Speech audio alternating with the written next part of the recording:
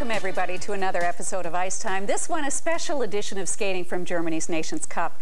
With Canada having at least two huge chances at gold medals, we thought you might enjoy up to the minute news on our team's performances in Gelsenkirchen. We'll have those skates up shortly.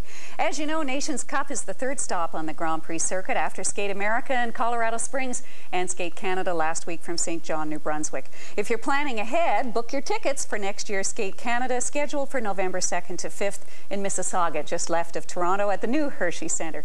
Nations Cup in a moment, but before we zone in on skating from Germany, let's review this week's news. The injuries, withdrawals, and replacement skaters are happening fast and furiously from Nations Cup. Too bad. I was looking forward to seeing Germany's Tanja Szewczenko and Nicole Bobek from the U.S., but both have withdrawn.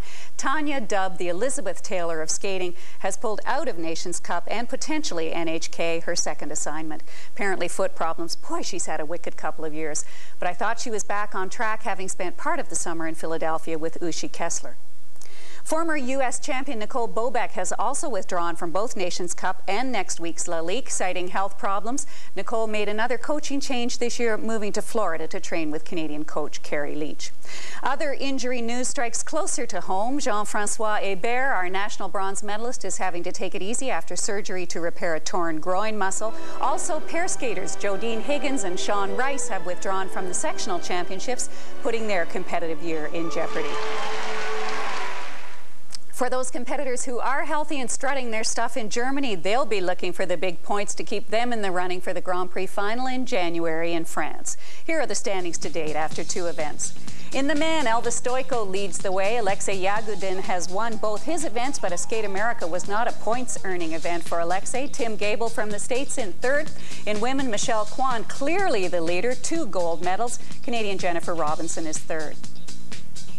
In pairs, Berezhnaya and Sikharulidze lead the way over Jamie Salé and David Pelletier. Today's event in Nations Cup will make some difference there. In dance, Drobiazko and Vanagas and Fusar-Poli and Margaglio, Lithuania and Italian teams both on top. Nations Cup, of course, affecting those results. Some sad news out of Germany this past summer. Former world competitor Sven Meyer committed suicide in May, according to Blades magazine, apparently from a self-inflicted gunshot. No suicide note was left, and no one close to Sven could account for the tragedy.